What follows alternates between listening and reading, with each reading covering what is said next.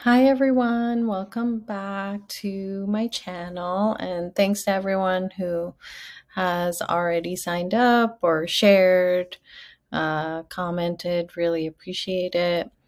Today I'm going to be talking a little bit about well-being overload and I think that this is very timely in terms of the new year and just everyone trying to be a better person or be a better version of themselves. And that can feel very overwhelming. There's a lot of emotional well being advice for the veterinary profession out there right now. I know because I've shared some of it. And don't let it become overwhelming. If you're struggling with the stress of being in veterinary medicine today, just try and take one step at a time. And I'll just be giving a little tips or pointers on how you can not get overwhelmed, or at least if you do get overwhelmed, what you can do to try and become less overwhelmed. because moving on in again with my memes, I just think that yeah, it's a very stressful profession and you know, sometimes people can tell when we're stressed and it's really hard, you know, even the most mean well-meaning people can be like, "Are you okay? Like what's wrong with you?" or "Are you stressed?" And those kind of questions are just not helpful. So if you're the type of person who kind of tends to be like, "Well, I'm trying to ask to be helpful." I mean, some other helpful things might be like, oh, can I get you a snack? Or can I get you a coffee? Or, hey, do you want to chat sometime about how things are going? Instead of these like accusatory type questions of being like, are you stressed? What's wrong with you? Like, you don't seem okay. You seem burnt out. Like, that's just not helpful, in my opinion. And, you know, it's like, yeah, I'm clearly stressed. So you asking me more about how stressed I am is not helpful. Um, and, you know, everyone's trying on their own level to mitigate the effects of how stressful it can be to be in vet med at times. And we have all this pressure to eat healthier and, you know, like this, I don't know why we're going with the hamster theme today. So this happens to me all the time at work where I'm just like, I have to start eating healthier. And then I'm at work and even the slightest amount of stressful uh, exam or like situation, especially if you work emergency, like I do a lot of emergency work or urgent care type work. Um, then you're just like immediately stuffing your face with the cookies or the donuts and oh, the Crumbl cookies. I just found out they're a thousand calories each. So didn't realize that. Thought this is why false advertising is a thing because they advertise their cookies as like 250 or 300 calories, but apparently um, that's per serving. So yeah, we order a lot of Crumbl at the clinics that I work at. And it's just really hard not to stuff your face with cookies or pizza when you're stressed. And it doesn't help in terms of your well being as much as I love sweets, just like the next person. So, there are some healing modalities that I want to talk about. And I think these are important because there's been a boom in well being advocates in the veterinary industry in the past few years. And you've probably seen on social media or at VAC conferences or association websites, wherever, Facebook groups, um, lots of people out there giving advice. And I think that's great that we're finally talking more about compassion fatigue, about burnout, about well being. Um, work life balance. I even read an article the other day that I wanted to actually film a video response for, but we'll see. That says like work life balance is a myth. And that really upset me because it's not a myth. Like work life balance is very possible and real. It's just that you need to figure out how that works for you. And there's no like cookie cutter method to follow because everyone is different and everyone's lifestyle is different. And even working emergency versus general practice has different struggles and hurdles. So um, if you see a, anyone saying that balance is not possible or real, don't believe them. It is uh, but I'll have to do that another day. So I do think it's good though that, you know, people are talking about it more. But I was at a conference and someone was like, at one of my lectures, they were like, this just sounds like more work. I'm not keeping up with. Even thinking about it is overwhelming. And I was like, oh my gosh, yeah, like when you just have millions of things you need to worry about and do adding like taking care of yourself on top of it if you already don't have like a pretty strong system or structure for it can feel even more overwhelming. And i don't know if you guys are like me but often when i'm overwhelmed i will kind of just shut down and not do anything. And they actually say like procrastination or like not doing the things that actually give you joy can be a trauma response, um, a stress response. So it's kind of, it goes along with the freeze response, essentially. If you've watched any of my previous videos on trauma, where I dive real deep into stress responses and trauma responses, um, you'll know what I'm talking about. So I do think that, like, people out there are trying, don't get me wrong. And, while like doing lectures of being like just eat more nutritious food or sleep more um, do meditation and do yoga and those are what you need to do like drink more water. Um, yeah i think those are helpful and they are like andrew huberman says kind of like the basics. The basics of well-being like get exercise drink more water eat more nutritious whole foods. You know all those i'm not saying they're not valid but there comes a point where you also have to take into account the effects of traumatic stress and our profession. As long as you continue to work in our profession we do have a significant amount of just like traumatic stress that comes with the territory. So Peter Levine, he's one of the like PhDs of traumatology, and he has a book called Waking the Tiger. And an important takeaway from his book that I want to acknowledge is the importance of the mind body connection in healing from trauma. And it's not just about relaxing or having a glass of wine or a spa day or talking it out with friends or loved ones when you have a bad day. He says, and I quote, Psychology traditionally approaches trauma through its effects on the mind. End quote. This is what he writes in his book. And then open the quote again. This is at best only half the story and a wholly inadequate one. Without the body and the mind access together as a unit, we will not be able to deeply understand or heal trauma. End quote. So, this is why these healing method slide is really important. And the question is, how do you start the journey? Well, the process of healing begins from within.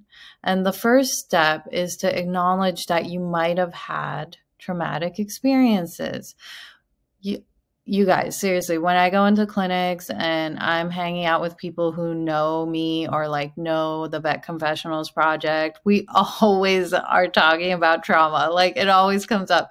The other day I was at work and one of the girls, she was so funny. She was like, oh my god i think i had some micro trauma happen. She's like i stabbed myself in the hand with this needle by mistake. And i was like that is kind of a micro trauma i mean stabbing yourself it's painful and yeah we're not trying to make a mountain out of a molehill here you know but we were just kind of joking around and kidding. But it's true.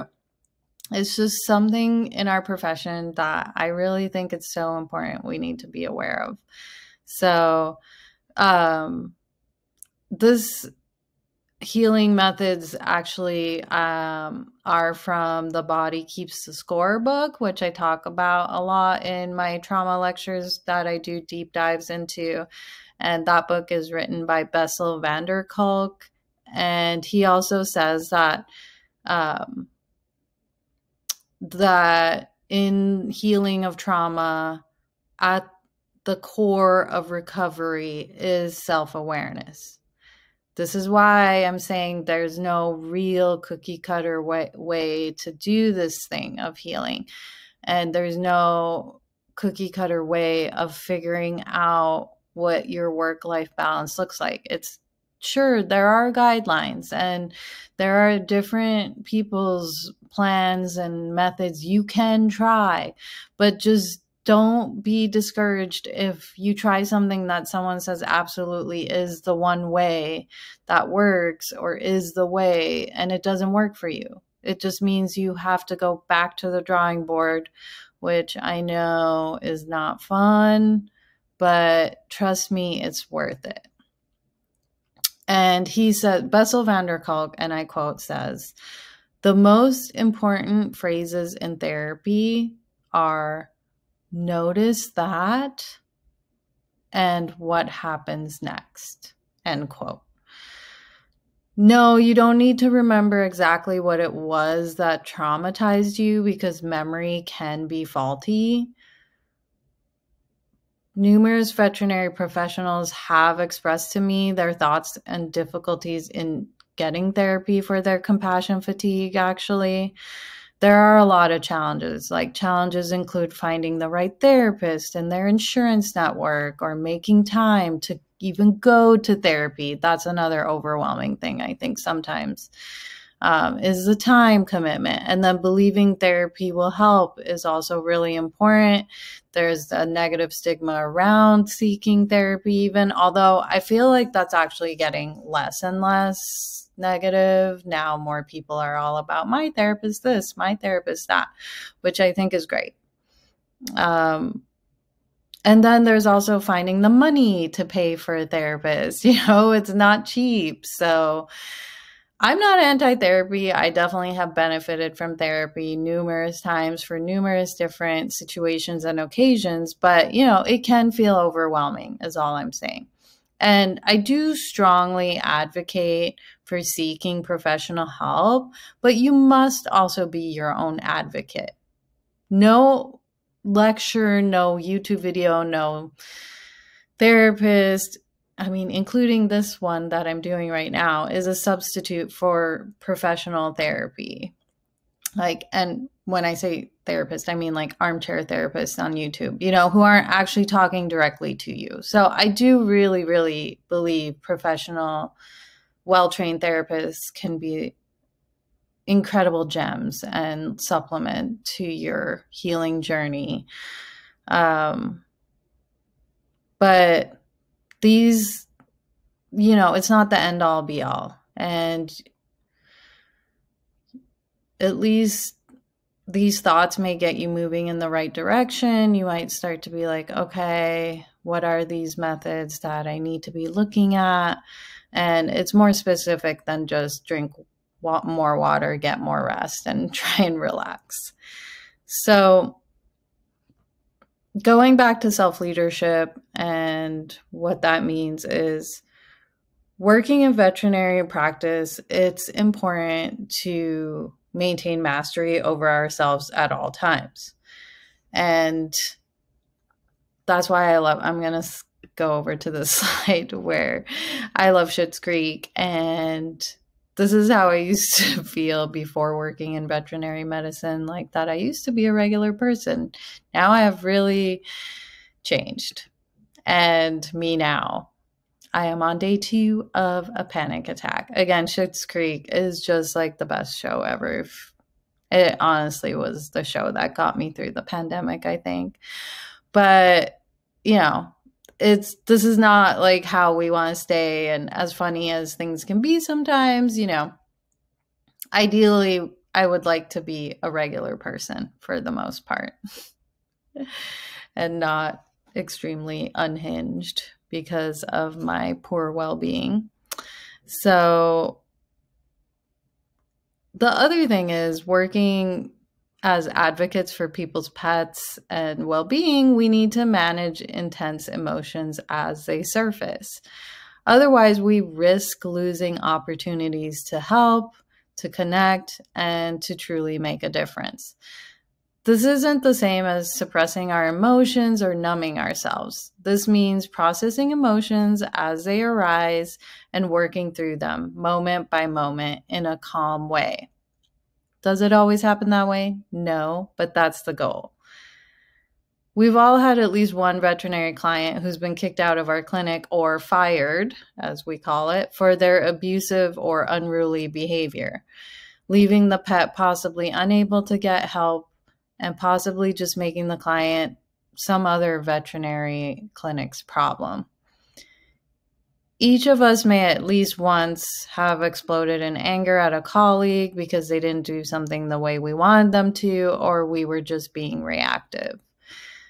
These types of reactions often come from an inability to maintain self leadership.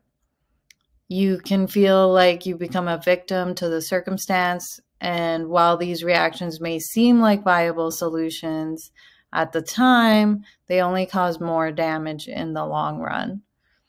This isn't to say that you should never fire a client or um, that you should never have an outburst or not feel anger or disappointment or any of those things.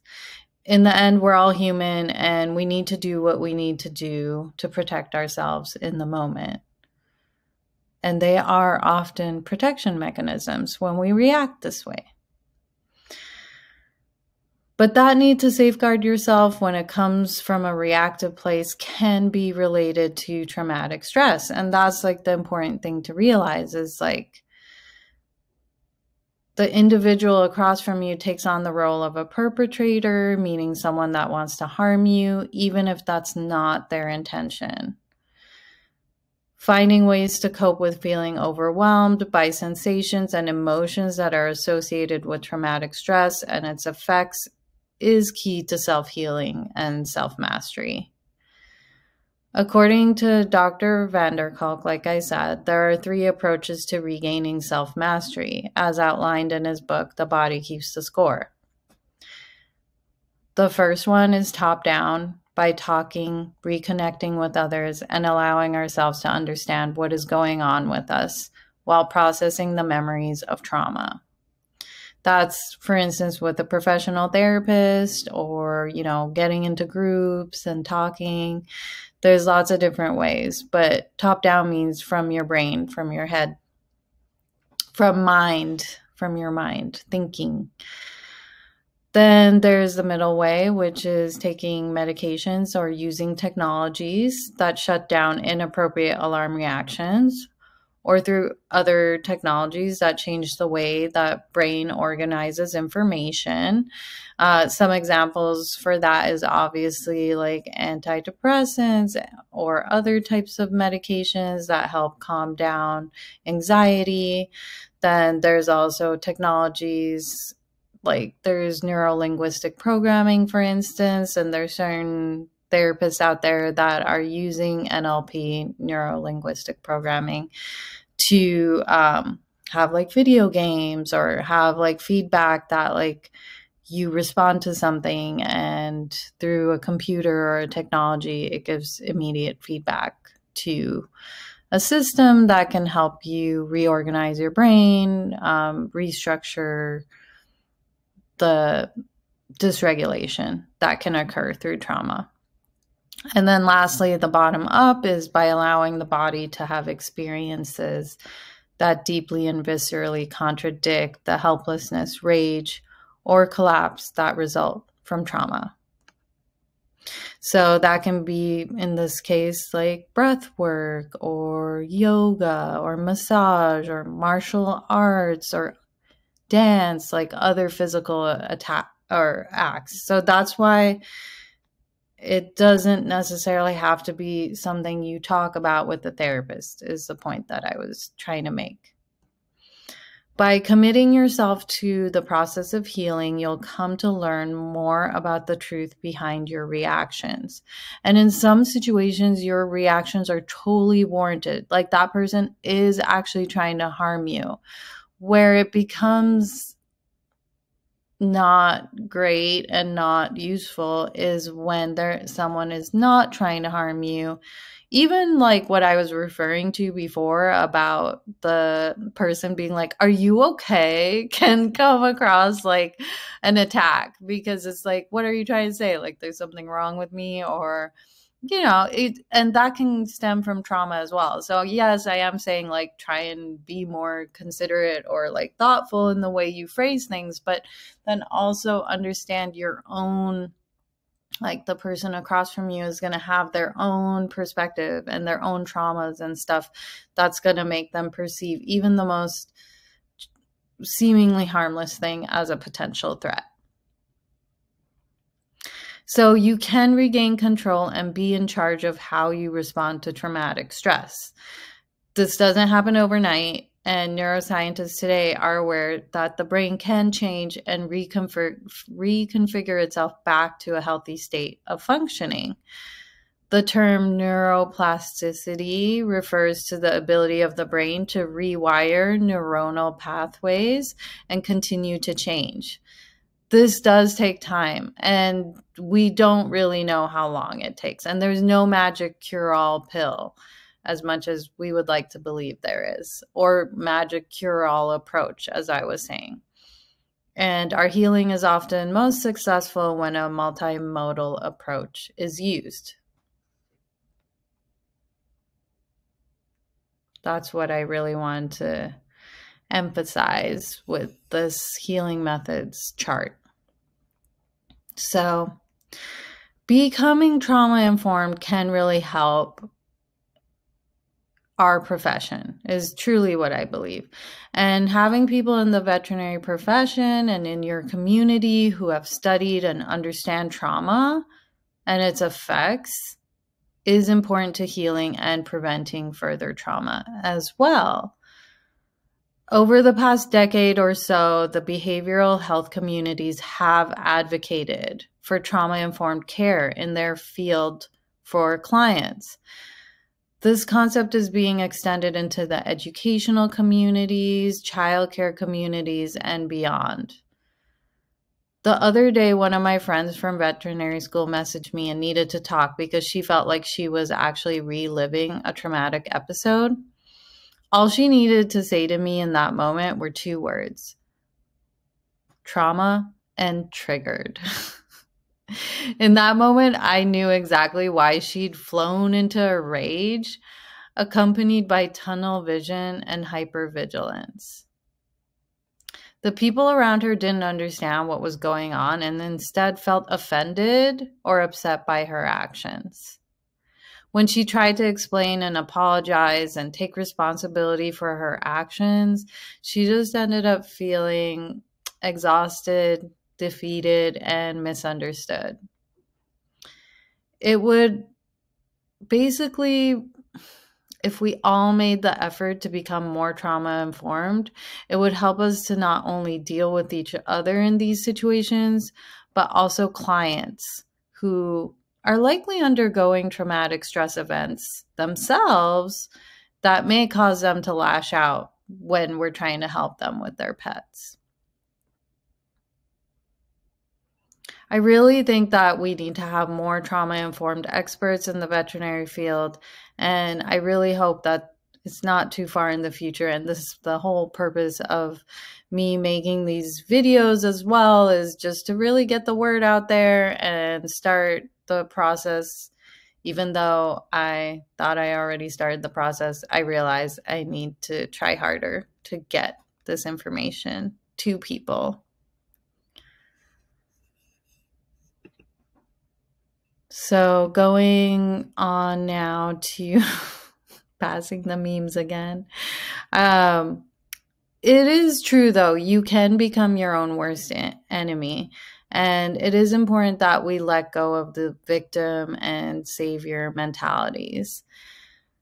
Traumatized individuals can have an investment also in being ill and may form a kind of attachment to their symptoms, like staying in bed all day. I mean, it's true. You could be on day two of a panic attack, but you also have to realize that it can also become your worst enemy if you constantly give in to and I don't want to say like give in to because it is out of your control when you are for instance going into an anxiety attack or a panic attack or dealing with depression or whatever the effects of stress can cause.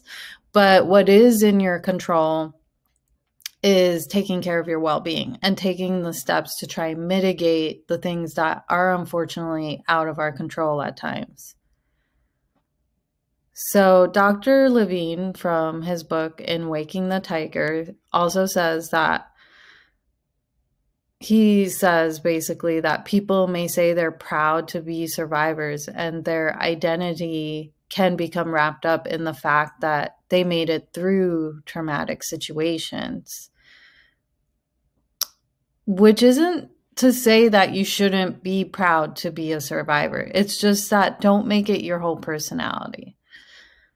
And the reason for this is because you can get trapped in that identity and then become stuck there. And that's not conducive to healing. Additionally, illnesses that may arise from repetitive activation of traumatic stress may become a part of your identity. So, the more you kind of stay in this loop, it can have effects of reliving the trauma and reactivating your nervous system as if it's happening all over again. This may also be apparent in the sort of dysfunctional ways we learn to deal with traumatic stress in veterinary medicine. For instance, if we view clients as perpetrators and pets as victims, we can become attached to the idea of victimhood or martyr type personas and force ourselves into a role of savior, savior or survivor of the terrible things inflicted on us or on animals. We may then become attached to this high that we feel when we hate on or fight a client or a coworker. It kind of gives you like this jolt of dopamine or like this feeling of being alive and because you're playing this role. And I'm not saying that situations of animal abuse or neglect don't happen in our field and that you don't have the right to be angry or to try and save that animal or anything like that. I'm just asking for you to discern at what point is this truly what's going on here because I'm not advocating that veterinary professionals should also either stay in potentially toxic or abusive relationships or workplaces. Because part of the problem is the stories they tell about themselves in those traumatic encounters. My goal is for all of us to start learning to exercise caution when judging, to question whether our perspective is in fact what's truly happening or if we're seeing others through only the lens of our trauma. And this is where it can get a little difficult too, because when you are on this journey of questioning and self discovery, there are also people out there who are manipulative who try and tell you that you are interpreting a situation incorrectly. And that's where things can be a little bit dangerous as well. But the more you practice it with trusted professionals and trusted individuals who can give you outside opinions who don't have a stake in manipulating you, and this again is why a professional therapist is so valuable, or professionals that are trained in dealing with traumatic situations can be so valuable as opposed to just some random person that you're asking the opinion of or someone who has a stake in convincing you of a certain thing, um, that's where you kind of just have to be careful. I know this might add more to the overwhelm, but trust me, it's worth it putting in this work and doing the baby steps to heal. One thing that I really found useful was actually uh, looking at this mental health continuum model. And this can help you decide kind of where you're at in terms of like the actions you need to take. And I really like this continuum because it's true. Like you can be anywhere on the continuum on any given day in any given moment. And it really does depend where you're at, depending on how much work you should probably be putting into your well being. So if you're feeling pretty good, you're in the green, that's the healthy marker. Um, you have normal fluctuations in mood, you have normal sleep patterns, physically, you feel well and you feel full of energy, you have consistent performance, you're socially active. And then below, it has the actions to take at each phase. So, in your healthy phase, you just focus on the task at hand. Um, you can break problems into manageable chunks you can identify and nurture support systems. Like for me it's like going to my yoga and like going to my yoga community and maintaining a healthy lifestyle. So not leaning so much on substances for instance to cope. And then we have reacting in the yellow. We have injured in orange and then we have ill in red. And reacting you might become more when you're in the yellow zone, more nervous, more irritable, maybe more sad. You might have more trouble sleeping. You might feel a little bit more tired or low energy. You might have more muscle tensions or headaches or procrastination, like we talked about. That can be a stress reaction when you're stuck in kind of like a freeze. Um, you can have decreased social activity.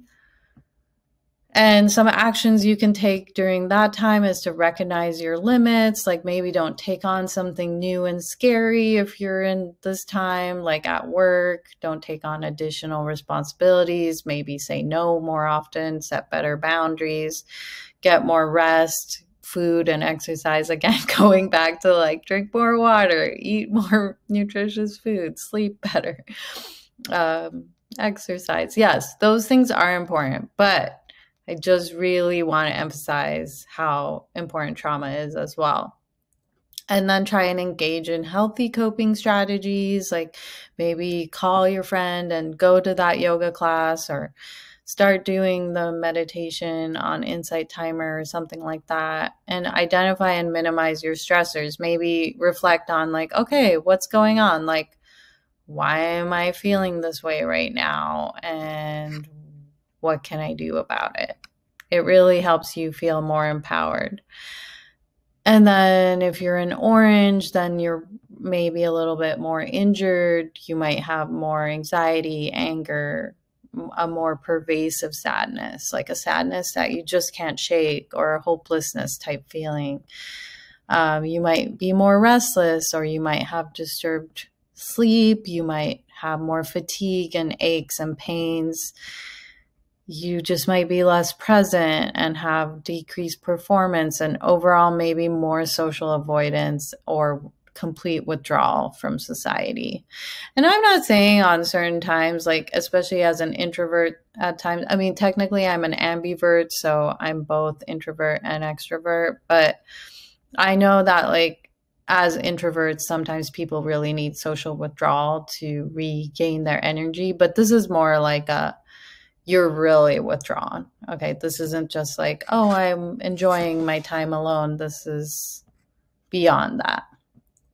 Like, oh, I need time alone to just recharge. That's not what this is talking about. So, again, actions you can take at this phase of the continuum would be to identify and understand your own signs of distress. So, what are the things that, like, technically, when you're injured mentally, mental health wise, what are your own signs of distress? Like, what do you notice that you tend to do more? Like, do you go and get more Crumbl cookies more often, for instance? I'm not trying to pick on Crumbl, but I'm just really disappointed that their cookies are a thousand calories each. Anyway, um, or do you maybe tend to binge watch Netflix more or something like, and not to say like any of these coping mechanisms are necessarily bad. It's just like how much is a, of it are you leaning on it and or do you not brush your teeth as often? Do you not brush your hair? Does your personal hygiene kind of go out the window? Like those are things you need to figure out what your own signs of distress are.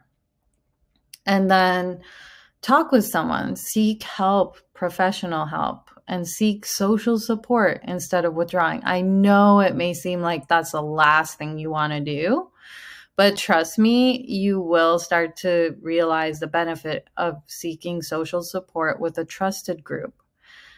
Okay, that's the other important thing is like you can't just go to anyone and be like, I need support because that person may not know how to help you or may not be like the person to help you. But just try and find the groups that are out there that are generally trying to help and they are out there and you can seek support through them and it's not weak and it even if you're like this is so dumb i don't want to do this just do it i mean i just listened to one of Andrew Huberman's podcasts or YouTube videos that um, talks about. Oh, it's the it's the David Goggins one, and David Goggins is a very interesting character, and I love listening to it. Honestly, I was kind of shocked by that episode, but one of the things they bring up is how um, your medial prefrontal cortex, I think uh, anyway, it's not important what part of the brain it is. There is a part for the purpose of this conversation. There is a part in your brain that like grows and does more amazing things. I'm like totally butchering it, but by forcing yourself to do the thing that you don't want to do. So once something becomes a habit and I guess like you get used to doing it, then that part of your brain kind of just becomes like in maintenance mode. Like it's not really growing or evolving or strengthening. But the more you do the things that are difficult, so like that's why it kind of reminded me of the yoga pose, or not the yoga pose, but the school of Iyengar yoga. If you know who Iyengar, BKS Iyengar is, he would always say, he teaches a style of Hatha yoga, and he would always say that the pose begins when you want to come out of it. And I just love that saying because it's so true. Because once you're in a pose, and you're like, okay, this is great. I'm in warrior two or down dog or whatever it is. And then you're like, oh, I'm used to doing this pose. I love this pose. But there comes a point where it's going to feel uncomfortable and you're going to want to come out of it. But try and stay just a few extra breaths. Like that's how when I teach, I try and people always get annoyed and you get the death stares for sure, where you're just like, why, why are they making it so hard? But really, like, if you can do the thing that is hard or that you want to come out of or as soon as it gets hard if you're just like oh okay i'm done i did the post no stay in it just a little bit longer. See if you can push yourself to stay that extra five minutes. The same comes with like doing things like seeking social support. In the end it's good for your brain. So do it even if it's difficult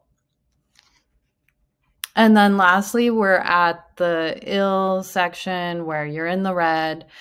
You have excessive anxiety, you're easily enraged, you're depressed mood overall, unable to fall asleep or stay asleep, just pure exhaustion, physical illness, unable to perform duties, absent, like you're calling out sick, you just can't even show up, you're just avoiding everything in general.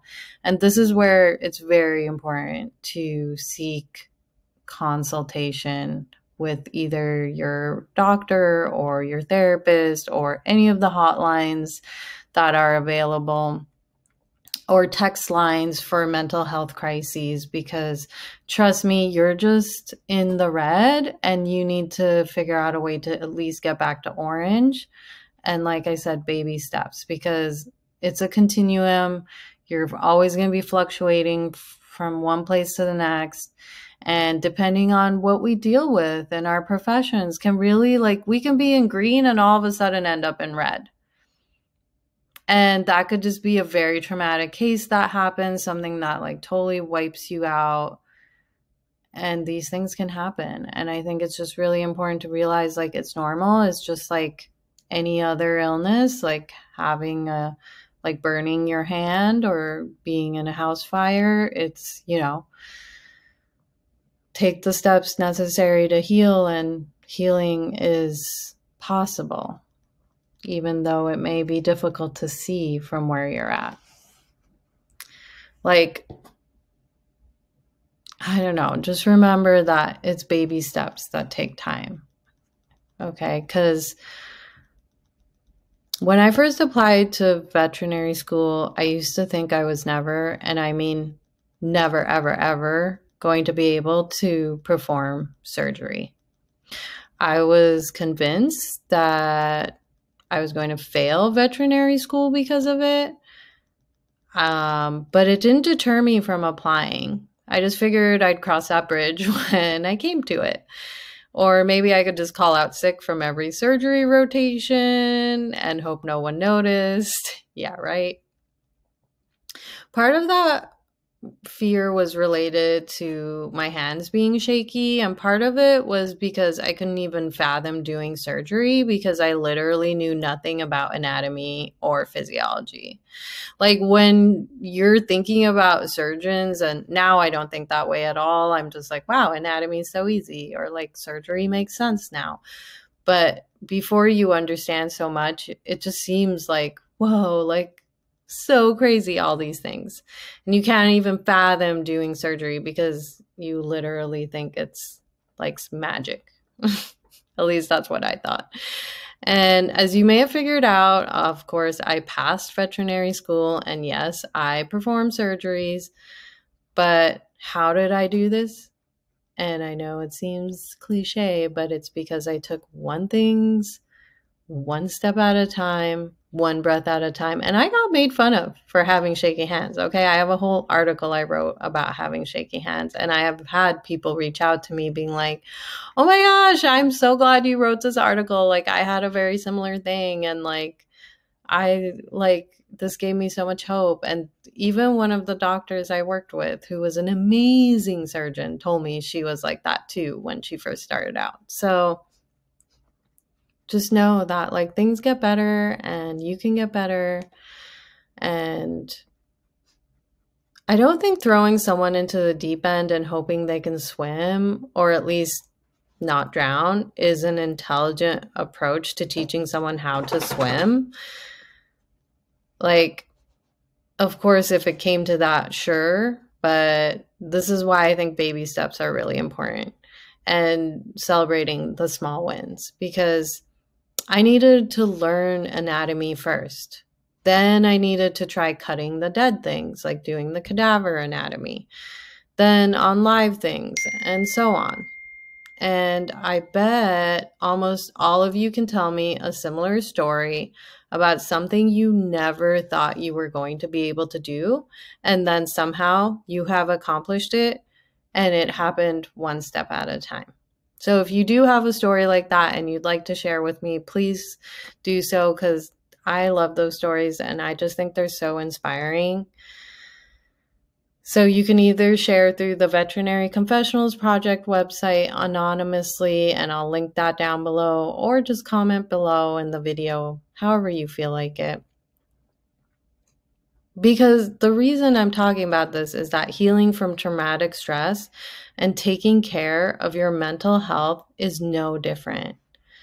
It may seem like a lot of work at first and that you'll never get there, but all you do is take one step at a time, keep chipping away, forgive yourself when you fall off the bandwagon, and congratulate yourself when you take one more small step in that direction. You know, sometimes it's two steps forward, five steps back, like walking up a gravel volcano, you know, the scree that when you're for New Zealanders, I know they know this because we've all walked up those mountains and those volcanoes.